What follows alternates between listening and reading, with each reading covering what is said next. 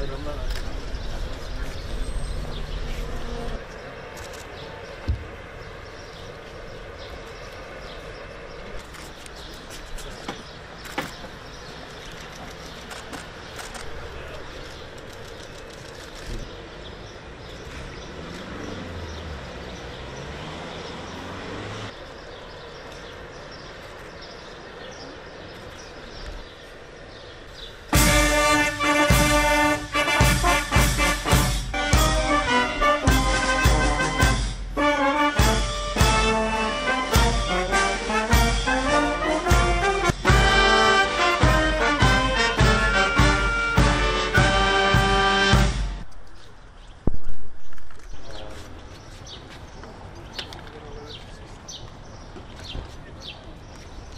Yep.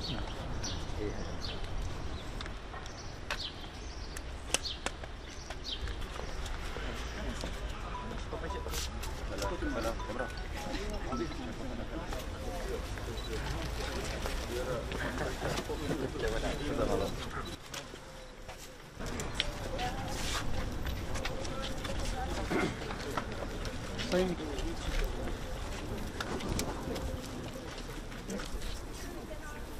Geliyorum. Geliyorum.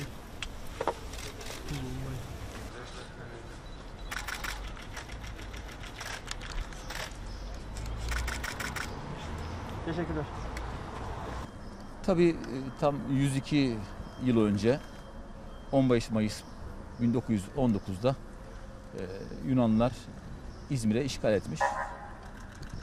Tabii onun öncesinde e, denizde e, kurulan heyetlerle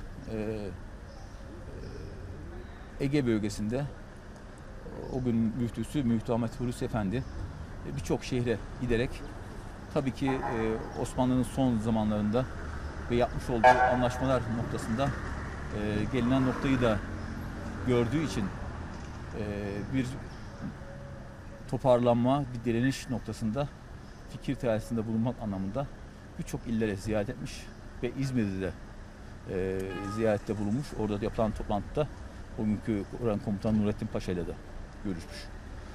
Esas olan bize düşen de e, bu emaneti, bize verilen bu emaneti sahip çıkmak, şehitlerimizi ve geçmişimizi unutmadan ileri doğru, daha yukarı doğru koşmaktır. İnşallah o gerçekleşmeyi de, çalışmayı da Allah'ım bizlere nasip etsin.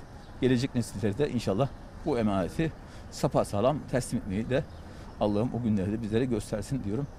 Ee, tekrar 15 Mayıs denizimizin Milli Mücadele Günü 102. yılı kutlu olsun. أعوذ بالله الشيطان الرجيم يا أيها الذين آمنوا استقيموا ولا تقولوا بل أحياء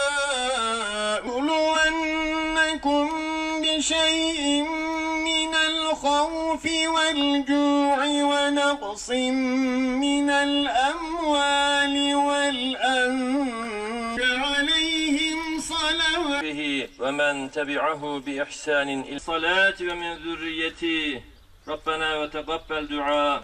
العالمين Ya İlahel Alemin Ahmet Hulusi Efendimizin yapmış olduğu mücadele eden şuurlanmamıza vesile eyle. Subhane Rabbike Rabbil İzzeti Amma Yasifun